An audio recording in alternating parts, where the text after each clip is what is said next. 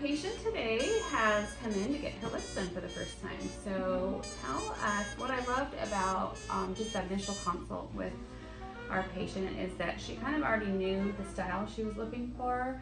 She has a smaller face and she feels like her lips are maybe a little bit too wide. But I love that you even described kind of the look you were looking for. What was that again? A very small 1920s type of look.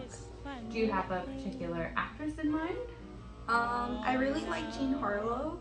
Okay. That very small. Yeah, I was thinking Clara Bow is another really pretty 1920s lip where it has really that height in the middle and then it kind of pairs off on the side. Yes.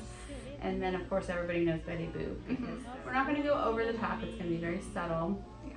We'll start small with just one syringe and kind of let you look. So we're looking at the results halfway, right? Can you see the difference? So a lot of fullness in the center, pretty much kind of stopped filling at the side so that all of that volume is concentrated right in the center here to give you more height and more swoop right here.